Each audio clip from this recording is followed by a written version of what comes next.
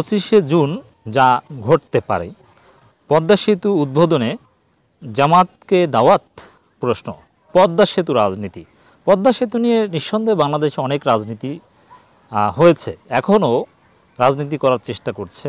বিশেষ করে এখন এটাকে ব্যবহার করে সরকার দল একটা রাজনৈতিক ফায়দার চেষ্টা করছে, কিন্তু জনগণ সাড়া দিচ্ছে না। সেই পদ্মা সেতু ফিজিবিলিটি স্টাডির পর থেকেই বাজেট নিয়ে বিশ্বব্যাংক সহ বিভিন্ন আন্তর্জাতিক সংস্থার অর্থায়ন এবং দুর্নীতির অভিযোগ অর্থায়ন না করা সিদ্ধান্ত, এগুলো নিয়ে অনেক বিতর্ক হচ্ছে। বাংলাদেশের একজন অন্যতম সৎ এবং জনপ্রিয় মন্ত্রী আবুল হোসেন সাহেব, তিনি স্থায়ীভাবে রাজনীতি থেকে মাইনাস হয়েছেন। পদ্মা সেতু বিতর্কে মাননীয় প্রধানমন্ত্রী অর্থ উপদেষ্টা, তিনিও কিন্তু বিপদে পড়েছেন। এমনকি সরকার দলের অনেকেরই কিন্তু রাজনৈতিক কেরিয়ার শেষ হয়ে গিয়েছে বা খেয়ে দিয়েছে এই পদ্মা সেতু। এক পদ্মা সেতু অনেক বড় বড় বাগানে তাকে খেয়ে দিয়েছে। এর মানে সরকার দলও এটা নিয়ে অনেক রাজনীতি রয়েছে। বিরোধী দল এটা নিয়ে প্রচারণা চালিয়েছিল রাজনৈতিক প্রচারণা, যেটা সত্য হয়নি, যেটা ভুল প্রমাণিত হয়েছিল। বেগম খালেদা জিয়া বলেছিলেন যে এরা করতে পারবে না ইট বালু সিমেন্ট নিয়ে রাখবে, অথবা ভালো হবে না, ব্রিজ ভেঙে পড়বে, অথবা করলে আমরা সেই সেতুর উপর থেকে যাব না। তো এখন বিএনপি সেই কথাগুলো যে ভুল ছিল এবং হাস্যকর ছিল, সেটা তো প্রমাণিত হয়েছিল। তারা স্পষ্ট বলেছিল যে আওয়ামী লীগ কখনোই নিজস্ব অর্থায়নে এরা পদ্মা সেতু করতে পারবে না। এগুলো রাজনৈতিক প্রচারণা ছিল, কিন্তু শেষ পর্যন্ত তো করেছে। আমি পদ্মা সেতু কেন্দ্রিক যে রাজনীতি, প্রথম বিতর্কের ক্ষেত্রে বলি যেখানে আওয়ামী লীগ জিতে গিয়েছে, তারা পদ্মা সেতু করেছে। কিন্তু করার পরের যে রাজনীতি, এই রাজনীতি, বিশেষ করে আওয়ামী লীগ তাদের অফিসিয়াল সমস্ত গণমাধ্যমগুলোতে যেমন ফেসবুক পেজ বা ইত্যাদি, ব্যাপক প্রচারণা চালাচ্ছে। বিএনপি নেতাদের সেই ভুল বক্তব্যগুলো বারবার শোনাচ্ছে এবং সেটা নিয়ে তো বিতর্ক অনেক হলো। কিন্তু এতে বিএনপির প্রতি জনগণের ক্ষোভ বাড়ছে না, আওয়ামী লীগের প্রতি সহমর্মিতা বাড়ছে না। মানে পদ্মা সেতু বর্তমান সরকারের আমি ব্যক্তিগতভাবে বড় একটা ঐতিহাসিক অর্জন হিসাবে দেখি। আমি সরকারকে, মাননীয় প্রধানমন্ত্রীর যোগ্যতাকে নিঃসন্দেহে অ্যাপ্রিসিয়েট করি, ধন্যবাদ জানাই। কিন্তু তা সত্ত্বেও এখানে তারা এখানে রাজনীতি করে তেমন ফায়দা করতে পারছে না। জনগণ যে পদ্মা সেতু করেছে তাতে কি? আলাদা কোনো সহমর্মিতা পাচ্ছে না। আওয়ামী লীগের লোকজনই নিজেরা নিজেরা খুশি হচ্ছে। তো এই রাজনীতি এখনও শেষ নয়। পদ্মা সেতু সফলভাবে হয়েছে। আমি ব্যক্তিগতভাবে আবারও মাননীয় প্রধানমন্ত্রীকে ধন্যবাদ জানাই।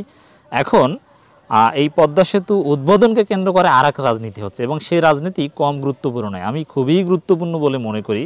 আমি শিরোনাম দেখে অনেকেই হয়তো বুঝতে পেরেছেন যে আমি স্পেশালি কোন বিষয়টা আলোচনা করব।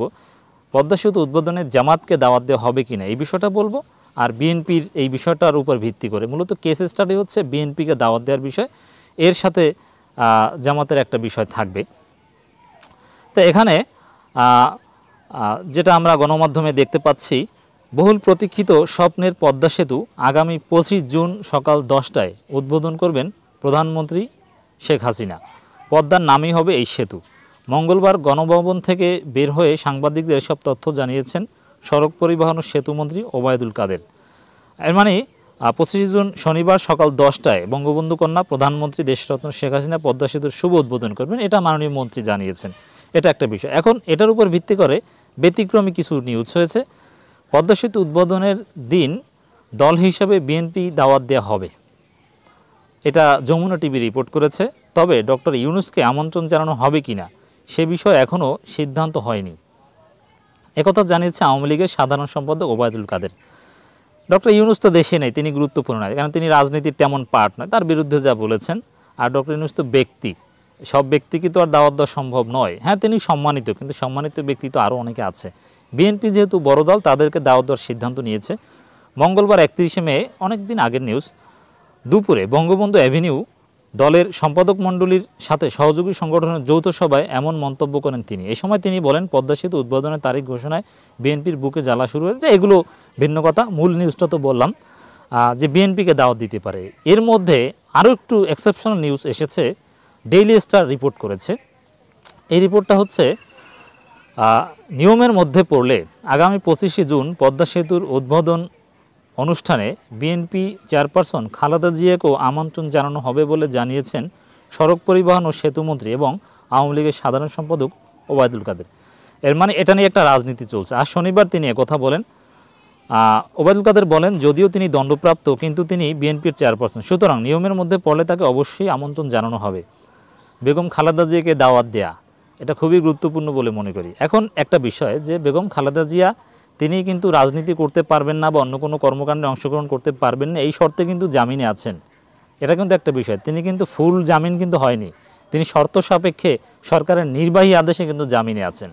এটা একটা গুরুত্বপূর্ণ বিষয়। এখন, সরকারের সবচেয়ে গুরুত্বপূর্ণ মন্ত্রী, মাননীয় মন্ত্রী ওবায়দুল কাদের বললেন যে নিয়মের মধ্যে থাকলে তাকে দাওয়াত দেওয়া হবে। এখন নিয়মের মধ্যে আছে কি না, এটা যে তিনি জানেন না, এটা মনে করার কোনো সুযোগ নেই। তিনি অবশ্যই জানেন। তিনি অনেক জ্ঞানী মানুষ, উচ্চশিক্ষিত মানুষ। খালেদা জিয়াকে পদ্মা সেতুতে দাওয়াত দেওয়া আইনের মধ্যে আছে কিনা এবং সেখানে এই ধরনের প্রোগ্রামে জয়েন করতে পারবেন কিনা? দণ্ডপ্রাপ্ত একজন শর্ত সাপেক্ষে জামিন প্রাপ্ত একজন ব্যক্তি। এটা জনাব ওবায়দুল কাদের, আমি শতভাগ নিশ্চিত যে তিনি জানেন। তারপরও এই কথাটা বলে বেগম খালেদা জিয়াকে দাওয়াতের কথা বলে একটা রাজনীতি করছেন। যদি নিয়মের মধ্যে থাকে জ্ঞানী মানুষ তো, অনেক জ্ঞানী মানুষ কিন্তু। এ কারণে কিন্তু তিনি নিয়মের মধ্যে থেকলে, পড়লে এই কথাটাও কিন্তু বলে দিয়েছেন। একটা চমৎকার কথা। এখন বেগম খালেদা জিয়াকে দাওয়াত বা দেখ বা না দেখ, তিনি আসবেন না। যেখানে তিনি শর্তের কারণে বিদেশে যেতে পারবেন না, চিকিৎসা নিতে, সেখানে পদ্মা সেতুর দাওয়াতে তিনি অংশগ্রহণ করে কীভাবে? এটা তো প্রশ্নই আসে না। তো এখন বেগম খালেদা জিয়াকে দাওয়াত দেয়া হয়তোবা শেষ পর্যন্ত হবে না, হলেও তিনি অংশগ্রহণ করবেন না। এটা একটা বিষয়। তবে বিষয়টা ইন্টারেস্টিং এটা নিয়ে রাজনৈতিক ফায়দা হাসিলের চেষ্টা করছে, অথবা বিএনপিকে একটু লজ্জায় দেওয়া, অথবা তারা জাতির বড় উন্নয়ন কর্মকাণ্ড বা জনগণের উপকার হয় এমন বিষয় বিভিন্ন জায়গায় তাদের আস্থা নেই এই সব কথাবার্তাই কিন্তু এখানে বলার চেষ্টা করছে, অংশগ্রহণ করছে না।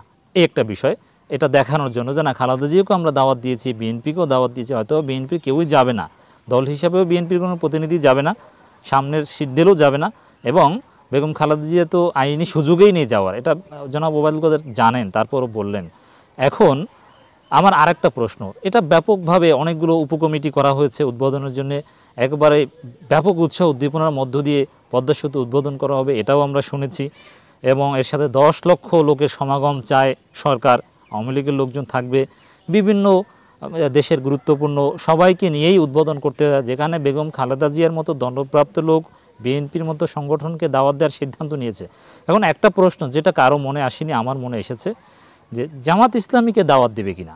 পদ্মা সেতু উদ্বোধনে জামাতকে দাওয়াত দিবে কিনা? পঁচিশে জুন যা ঘটতে পারে বিষয়ে বিভিন্ন আলোচনা হচ্ছে, কি ঘটতে পারে? বড় কিছু হবে না।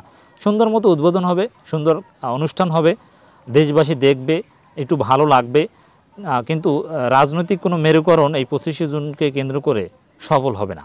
এটা কিন্তু একটা বিষয়। এখন আমার যে প্রশ্নটা, যে পঁচিশে জুন সুন্দর অনুষ্ঠান হবে, এটাই ঘটবে, বিভিন্ন দলকে, বিএনপি বাদে অন্যান্য অনেকেই যাবে, এটাও ঠিক। বিরোধী দলের কেউ কেউ যাবে সমাজ কমিউনিস্ট ধারা বামপন্থীদের কেউ কেউ যাবে, কেউ কেউ যাবে না, এগুলোই ঘটবে। এখন এত সবাইকে সব রাজনৈতিক দল, বিএনপি, খালেদা জিয়াকে দশ লক্ষ লোক দাওয়াত দেওয়া বা উপস্থিত, এগুলো যদি হয়, তাহলে জামাত কেন দাওয়াত পাবে না? জামাত ইসলামী এদেশের সরকারকে ট্যাক্স দেয়, তারা এদেশের সুনাগরিক, তারা এদেশের সন্তান, এদেশে জন্মগ্রহণ করেছে, তারা বিভিন্ন সেক্টরে আছে, তারা বৈধ রাজনৈতিক দল, তারা সংসদে প্রতিনিধিত্ব করেছে, তারা আওয়ামী লীগের সাথে একসাথে আন্দোলন করেছে। অতএব যারা নতুন প্রজন্মের, যাদের বিরুদ্ধে উনিশশো একাত্তর সালের মহান স্বাধীনতা যুদ্ধের বিরোধিতা করার কোনো অভিযোগ নেই, তাদেরকে দাওয়াত দিতে তো আর কেন কোনো সমস্যা নেই। তাদেরকে কি দাওয়াত দিবে? আমি মনে করি দিবে না। কিন্তু এই না দেয়াটা যদি না দেয় তাহলে মনে করব যে এটা চরম পর্যায়ের একটা হীনমন্যতা। তারা আসলে ঐক্য, জনগণকে সাথে নিয়ে পার্টিসিপেটরি ডেভেলপমেন্ট কিছুই চায় না। এগুলো সব ভাওতাবাজি। এখন বিএনপি বা অন্য সবাই দাওয়াত পেলে জামাত ইসলামীও রাজনৈতিক দল হিসাবে আনুষ্ঠানিক বা বা পায়।